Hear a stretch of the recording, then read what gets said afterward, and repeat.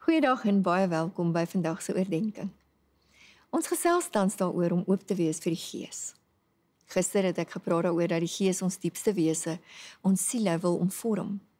Ek het ook gesê dat ons dikwels sulke vasgevulde en geuite maniere van dink oor die lewe, onsself en God het, dat ons sukkel om werklik oop te wees vir die werk van die Gees.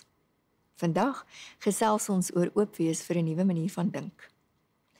Ons mense sukkel soms om mooi te verstaan wat God se Gees in ons wil doen. Ons verstaan stadig. Soms verstaan ons glad nie. Soms is ons bewussyn glad nie in lyn met die bewussyn van Christus nie.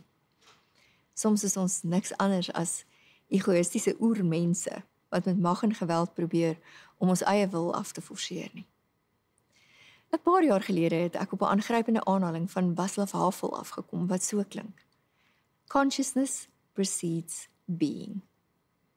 My bewussyn die manier hoe ek dink sal altyd die manier hoe ek gaan wees en optree bepaal.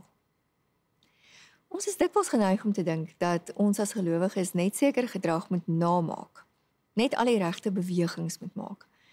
Maar die dilemma hiermee is dat ons die regte dinge kan doen met die verkeerde motiewe en dit kan uiters gevaarlik wees.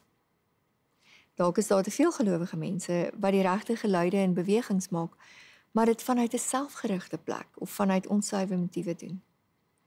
Dink aan die metafoor van 'n spons. As ek 'n spons in 'n bak met 'n bietjie water sit, gaan dit die water opsuig. En as ek aan die spons druk, gaan daar water uitkom. Maar veronderstel ek sit die spons in modderwater. Van buite af kan ek vir 'n rukkie die skyn hou. Maar die oomblik as ek die spons druk, begin die modderwater uitloop dit wat binne is wys of ek dit nou wil hê of nie. En wat bepaal wat gaan uitkom? Dit wat aan die binnekant aangaan. Dit laat my dink aan Robert Mulholland wat iewers gesê het, "We are all like mud cakes covered with royal icing. When the heat is turned on, the mud starts seeping through." My gedrag, hoe ek is met die mense om my, word bepaal deur my bewussyn my manier van dink. Om toe te laat dat die Gees my bewussyn verander, gaan daaroor dat my eksterne optrede en my interne motiewe al meer met mekaar moet strook. Wanneer die Bybel praat van 'n nuwe bewussyn, word die term die gesindheid van Christus gebruik. Heelwat Engelse vertalings gebruik die frase putting on the mind of Christ. Filippense 2 vers 5 sê dieselfde gesindheid moet in julle wees wat daar ook in Jesus Christus was. Romeine 12 vers 2 sê: Laat God julle verander deur julle denke te vernuwe of dan laat God julle verander deur julle bewussyn te vernuwe. Hierdie gesindheid of bewussyn van Christus gaan nie daaroor om 'n eksterne gedragskode na te boots nie, maar om op 'n diep liggende en transformatiewe manier deur die Gees van Christus deurweek en deurdrink te word. Putting on the mind of Christ om 'n Christus bewussyn of gesindheid te bekom soos Paulus daarvan praat is iets wat van God afkom, nie uit myself nie. Om God se mens te word, iemand wat met die gesindheid van Christus leef, is nie jou projek met jouself nie. Dis die sagte werk en die interne omvorming van die Gees in jou.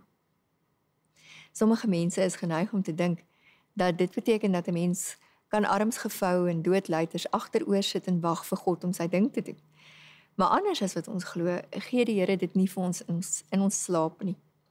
Ek het die groot verantwoordelikheid om 'n ruimte te skep vir die Gees.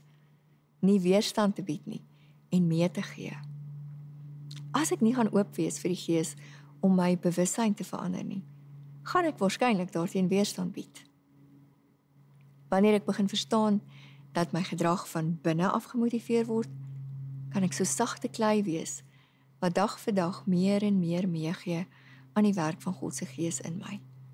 Nie ingee of oorgee nie, maar meegee. Meegee is 'n sagte beweging waar ek toelaat dat die vloei van God se Gees al meer in my lewe oorneem en waar ek die sagte medium word waardeur God kan doen wat hy wil. Ek raak dus ontvanklik vir die vloei van die stroom van God se Gees. Ek probeer nie om op 'n eksterne geforseerde manier iets te wees nie.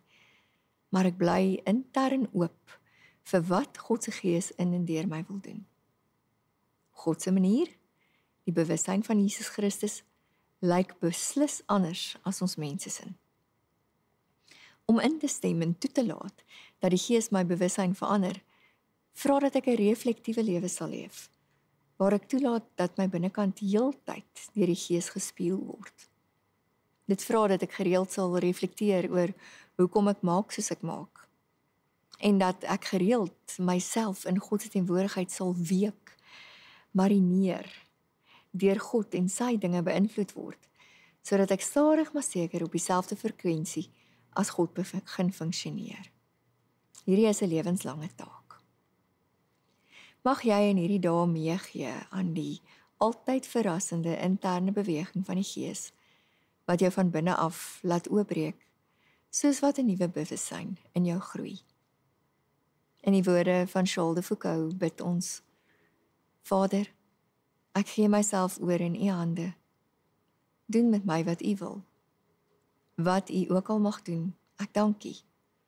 Ek staan gereed vir wat kom en ek stel my oop vir U.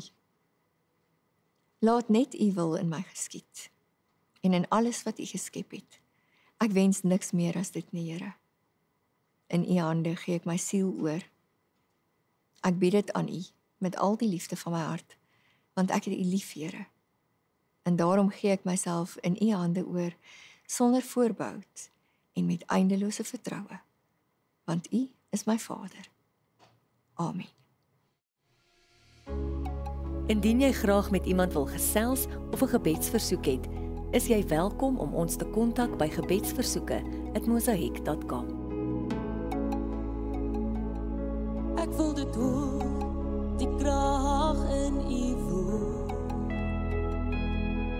voel dit voel eerlikheid oor my. Ek wil omgee die een wat oorwin en ek wil sien my lewe word weer nie